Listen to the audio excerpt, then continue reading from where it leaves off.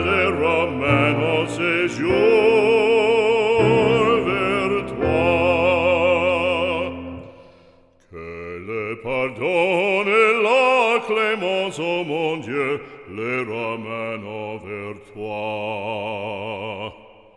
mon Dieu mon Dieu le ramène en séjour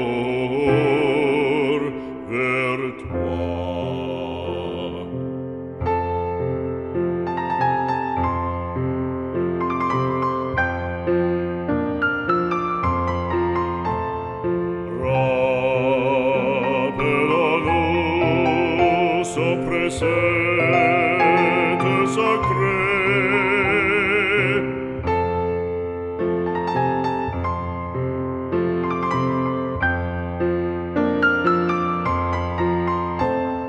Uvran, uvran, la fate gare Nura pala sopra sete Ouvro